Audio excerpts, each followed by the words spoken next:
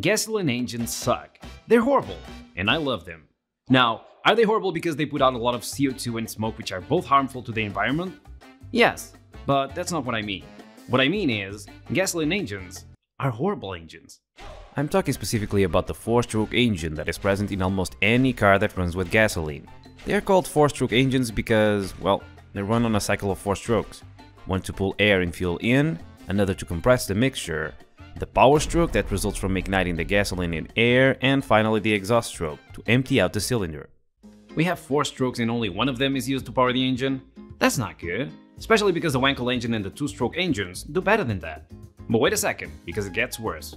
Gasoline is actually a great fuel. It stays liquid at room temperature, unlike propane, butane, and hydrogen. It's easy to mix with air and it has an energy density 100 times greater than lithium ion batteries. Which means that 100 kilograms of lithium ion batteries have the same energy storage as 1 kilogram of gasoline. Gasoline is great for energy storage, but unfortunately we put it into this disgusting engine with a thermal efficiency of 25%, which means only a quarter of the energy is actually used to move the car. The rest is turned into heat. Like, a lot of heat. 75% of heat. You call this an engine? Well, I call it a furnace. It's better to cook pizzas than to move a car. It's a waste of strokes, a waste of energy, makes too much noise, and I love it. I said a lot of bad things about the 4-strokey, but the truth is this engine is used in almost every single gasoline car for a reason. It delivers a good balance of power, reliability, and efficiency. It's also easier to cool, seal, and lubricate. As for my reason of loving it, well, I could tell you I love this engine because it brings order into this chaotic universe by releasing the trapped energy stored in the form of dead decomposed dinosaurs over millions of years. But that would be a lie. I just find them fascinating. I love to see them working. The problem is, I can't really see them working, can I? Not the best beats anyway, I mean the explosions and the strokes and all that stuff. Engines are normally made out of metal, and metal tends to be opaque. The only real way for me to see the cycle is through my own crappy animations. Now, to be fair, there's some cool videos out there of people building engines that are transparent at the top. And there's also a very cool video from Smarter Every Day, where Destin made a transparent carburetor. But I've never seen an engine with a transparent cylinder, so if I can find it, I might as well build it. About a year ago, a company called Stirlingkit sent me a small-scale 4-stroke gasoline engine. It's mostly made out of brass and aluminium, but it runs pretty well. It works using 95 gasoline that is sprayed into the engine using a simple carburetor. If you want to know more about carburetors, you should check out Destin's video. To control the strokes, it uses a simple system of valves activated by cams underneath. The engine itself is pretty simple, and to see what I want to see, I just need to replace the cylinder with something transparent. Now, my first idea was glass, but to find a glass tube that is going to fit exactly on that piston is going to be a nightmare. Then I thought about acrylic. It's gonna melt eventually, but it might just survive long enough to let me see what I want. But then, as I was researching ways of polishing acrylic, I realized I can polish another material resin. And luckily for me, I have a resin 3D printer that can make me an exact replica of that cylinder. The resin that I use is already transparent, but the parts that come out of the printer are not. But for a first test, that should be okay. Three, two, one.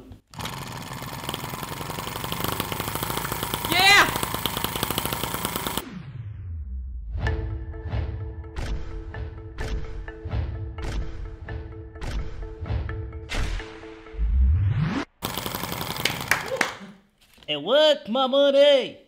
So, I got some results, which proves I can use the 3D printed cylinder. But now I need to make that cylinder transparent. And to do that, I'm gonna use some fine sandpaper and a product that is used to polish acrylics on cars.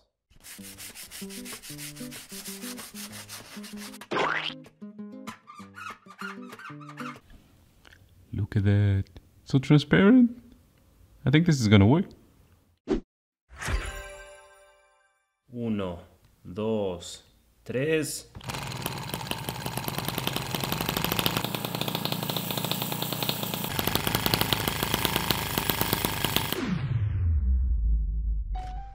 So, here's a beautiful slow motion shot of the transparent engine working. You're welcome. Now, let's see if we actually have the four strokes we have been seeing in my crappy animation. Dude, this animation took me like 5 hours to make. It was a lot of work. Sorry, past me, we are here for the real deal, no cartoons. So, we have a power stroke, exhaust, intake, compression, and pow. Wait, where's the explosion? Did the engine just skip the most important part of the cycle? Oh, I know what's going on. So this footage was taken right after I started the engine. So maybe because of that, the engine is not working perfectly yet. Let's fast forward a bit. Okie dokie. Once again, we have the power stroke, exhaust, intake, and nothing. What's going on here? This is weird. I can literally see the gasoline being sucked into the cylinder, but then no explosion. Maybe it's because of the light. Sometimes the plasma in explosions is barely visible. Let's turn the lights off and try again. Power, exhaust, intake, compression, and nothing. Okay, now I'm really lost. I don't know, maybe it's because the mixture is not igniting? Maybe the spark plug is not working. Ah! Oh, it's working. It's working pretty well. Or maybe I don't have enough compression. Talking about compression, why is it that you have to compress the mixture? I mean, can't you just ignite it without compression? Well, apparently a while back this German guy called Otto realized that compressing the mixture increases both the efficiency and the power of the engine, and thus was born the Otto cycle. Which makes sense since compression leads to a bigger pop.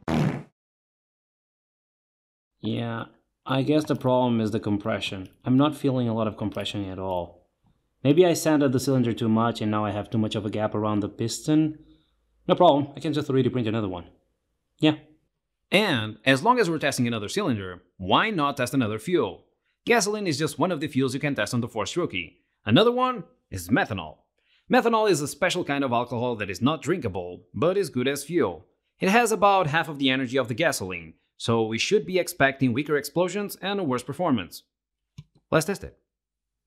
Ready? One, two, three.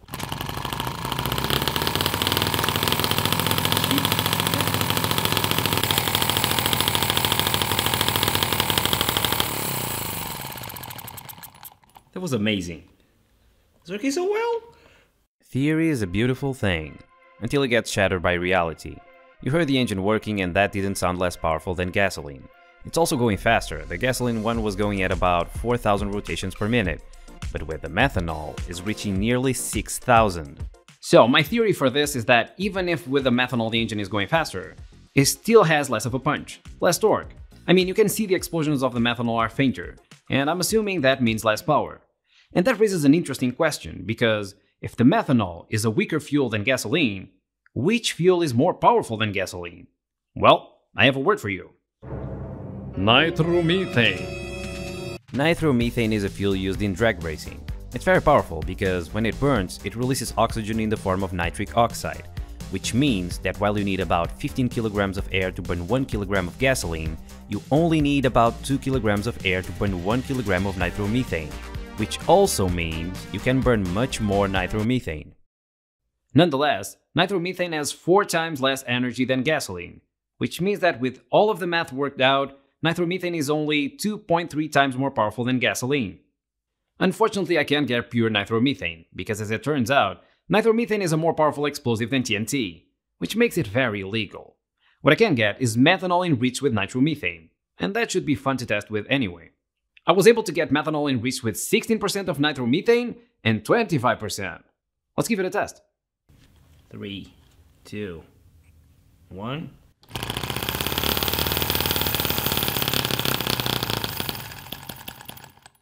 And it's gone.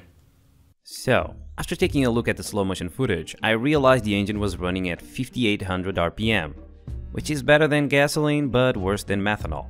And that was weird until I took a closer look. You see, with none of the fuels we tested so far is this engine doing a 4-stroke cycle. It's always keeping power strokes consistently. Is doing one power stroke for each 8 strokes with the gasoline and methanol, and one power stroke for each 12 strokes with a 16% nitromethane. This engine uses magnets placed on the cam's gear to trigger the ignition. Maybe over a certain speed, the time the spark plug is on is just not enough to ignite the fuel. That is my theory, but let's just test the 25% nitromethane to get some more data.